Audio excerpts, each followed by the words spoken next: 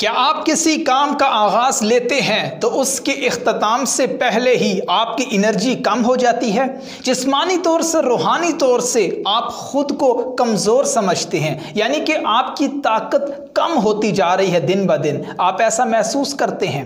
किस तरह से एक वायरस से, यानी कि ये पुराना वायरस है, कोई नया वायरस नहीं है डिप्रेशन जिसकी घबराहट फैलती है, जिसकी टेंशन फैलती है, जहनी दबाव एक शख्स से दूसरे दूसरे से और पूरी चेन की शक्ल इख्तियार कर देता है। किस तरह से हम जहनी दबाव डिप्रेशन एनजाइटी से बचें, दूर रहें, इससे ख़त्म तो नहीं किया जा सकता, इससे बचा जा सकता है। दो स्टेप्स में हम इससे बचेंगे। क्या आप सुनना चाहेंगे? किस तरह से हम अपनी तरजीहात को शामिल करके आसानी से इससे बच सकते हैं? ये कैसे मुमकिन हो सकता है? वेलकम बैक टू करें हिम्मत show here I am Mavia Tariq motivational speaker leadership consultant and life coach सबसे पहले तो मैं आपके साथ पहले स्टेप को डिफाइन करने से पहले एक सिचुएशन आपके साथ शेयर करना चाहता हूँ। एक ऐसी सिचुएशन जिसमें तीन शख्स मौजूद हैं। पहला शख्स जो मरीज़ है डिप्रेशन का। दूसरा शख्स जो डिप्रेशन का मरीज़ नहीं है, घबराहट का मरीज़ है। ये घबराहट क्या है? डिप्रेशन की घबराहट किस तरह से हम जाने? और तीसरा शख्स ना जिससे डिप्रेशन है, ना ही घबराहट है, बिल्कुल पीसफुल माइंड यानी कि सकून की ज़िंदगी, आराम की ज़िंदगी बसर कर रहा है। इस सिचुएशन को किस तरह से जाने? मैं आपके साथ नंबर वन स्टेप शेयर करूँगा और फिर हम इस सिचुएशन को जानेंगे। मुझे यकीन है कि आप मेरी बात को समझ रहे होंगे, क्योंकि ये समझने वाला पॉइंट है। बिल्कुल इसमें अलर्ट और अवेयर होना चाहिए। अगर आप अलर्ट होंगे अवेयर होंगे तो ही आप इस डिप्रेशन से, इस घबराहट से और इस ज़िंदगी से, यानी कि इस तंग ज़िंदगी से आज़ादी हासिल करेंगे। ये तंग ज़िंदगी कौन सी है? जिसमें हमारा दिमाग परेशानियों का एनजाइटी का डिप्रेशन का शिकार रहता है। अब किस तरह से इस सिचुएशन को जाने? पहली सिचुएशन मैंने आपके साथ अभी शेयर की है। तीन शख्स, पहला जो मरीज़ है, दूसरा जो घबराहट का मरीज़ है, और तीसरा जो बिल्कुल तंदुरुस्त है। ठीक है? अब number one step number one step किस तरह से हम डिप्रेशन से बचें, जहनी दबाव से बचें, किस तरह से बचें? तो वो कहता है कि खुद से क्वेश्चन करें। खुद से आप क्या करें? सवाल करें। जैसे ही हम खुद से सवाल करते हैं आप कैसे हम खुद से सवाल करें? मिसाल के तौर पर अब उस सिचुएशन में जा रहा हूँ, जहाँ तीन शख्स हैं। पहला शख्स, जो मरीज़ है, अब मरीज़ किस तरह से सवाल कर सकता है? अब मरीज़ गोली खा रहा है तो वो अपने आप से सवाल करे। क्या इस गोली खाने के बाद, अद्वियात लेने के बाद मैं तंदुरुस्त हो जाऊँगा? अब उसने गोली खा ली और एक घंटा गुजर गया और अब वो फिर अपने आप से सवाल करे, मैंने गोली खा ली, मैं कितनी देर तक खुद को तंदुरुस्त महसूस करूँगा? ये मरीज़ अपने आप से सवाल कर रहा है। इसी तरह से हम खुद से जब सवाल करते हैं तो हम डिप्रेशन से बचना शुरू कर देते हैं। अब दूसरी सिचुएशन जहाँ एक मरीज़ घबराहट का सिर्फ़ शिकार है।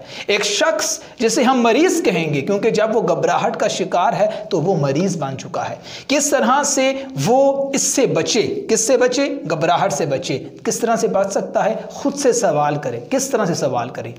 दूसरा शख्स, अब खुद से किस तरह से सवाल करे? जो घबराहट का मरीज़ है। क्या मैं इस काम करने के बाद खुद को तंदुरुस्त महसूस करूँगा? मिसाल के तौर पर वो अपना ऑफ़िस वर्क कर रहा है तो वो ऑफ़िस वर्क में खुद से सवाल कर रहा है।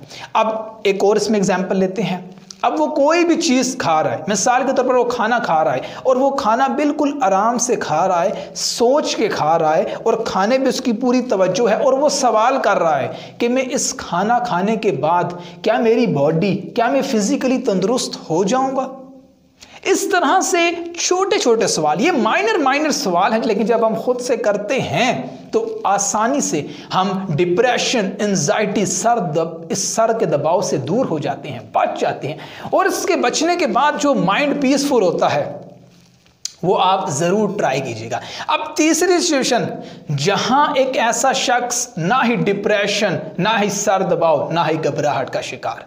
तो वो क्या है? वो खुद से क्वेश्चन कर रहा है, जिसकी वजह से उसे डिप्रेशन एंजाइटी नहीं है, वो इससे दूर है।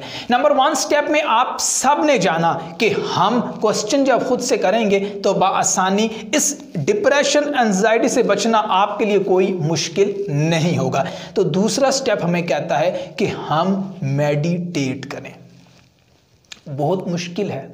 यानी कि मैं आसान अल्फाज में थोड़ा सा बयान करूँ इस स्टेप को कि हम अपने 24 घंटों में से 10 मिनट या 20 मिनट अपने आप को दें और किस तरह से दें कि सिर्फ़ और सिर्फ़ एक कमरे में हम मौजूद हैं और आसपास कोई शोर शराबा नहीं है। या शोर शराबा है तो कम है। हमारा सिर्फ़ और सिर्फ़ खुद पे ध्यान है और हम एक सांस ऊपर ले रहे हैं और एक सांस नीचे ले रहे हैं। यानी कि हम नाक से सांस ले रहे हैं और मुँह से खारिज कर रहे हैं। नाक से सांस ले रहे हैं, मुँह से खारिज कर रहे हैं और इस अमल को 10 मिनट या दो मिनट से हम शुरू कर रहे हैं। अब ऐसे नहीं कि आप स्टार्ट 10 मिनट से करें। शुरू में आपको एक मिनट, दो मिनट, तीन मिनट आहिस्ता आहिस्ता जैसे जैसे आप करते जाएँगे तो आप आपको जिस टाइम आप मेडिटेट कर रहे होंगे, खुद पे गौर कर रहे होंगे तो वो आपको टाइम समझ नहीं आएगा कि टाइम किधर जा रहा है। इसी तरह से आज के सेशन में आपके साथ मैंने दो स्टेप्स शेयर किए। नंबर वन स्टेप खुद से क्वेश्चन करें। नंबर टू स्टेप खुद पे गौर करें मेडिटेट करें, जिससे बसानी आप इस वायरस से, इस कदीम पुराने वायरस से बच जाएँगे और बसानी आप किसी भी घबराहट सर दबाव डिप्रेशन एंजाइटी से बच जाएँगे। इसी तरह से मुझे दीजिए इजाज़त। अपना आप सब बहुत सारा ख्याल रखें। अल्लाह हाफि